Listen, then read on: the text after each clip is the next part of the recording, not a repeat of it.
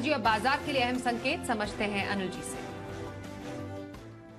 तो अगले हफ़्ते जब सोमवार को हम बाजारों में फिर से ट्रेड करने के लिए लौटेंगे तो एक तो अगला हफ़्ता छोटा है, क्योंकि मंगलवार की गुरु नानक जयंती के उपलक्ष्य में छुट्टी है तो बाज़ार चार ही दिन है। सोमवार को जब हम लौटेंगे तो सबसे पहले डाउ फ्यूचर्स जो 150 पॉइंट ऊपर थे हमारे बाज़ार के बंद होने के वक्त तो लग रहा है कि आज अमेरिका में थोड़ा सेशन बेहतर होना चाहिए, दो दिनों का कंसल्टेशन हो चुका है, वापस रफ्तार पकड़ सकते हैं फेड की मीटिंग वगैरह निकल गई है।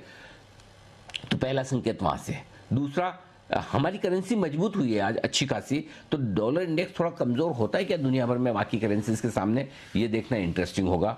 आज के सेशन में लग ऐसा रहा है कि फिर से एफ़ की तरफ़ से हल्की फुल्की खरीदारी के आंकड़े आने चाहिए, और वो अगर आते तो वो भी बाज़ार में जोश भरेंगे। अब आइए लेवल्स बता दूँ। सोमवार के लिए सत्रह हज़ार नौ सौ पचास, अठारह हज़ार पच्चीस। ये पचहत्तर पॉइंट की रेंज रहेगी आपके लिए मज़बूत सपोर्ट ऊपर में अठारह हज़ार एक सौ पचहत्तर, अठारह हज़ार दो सौ पचहत्तर। ये सौ पॉइंट की रेंज है जहाँ पर जाकर बाज़ार रुकने की कोशिश करेगा। Bank Nifty.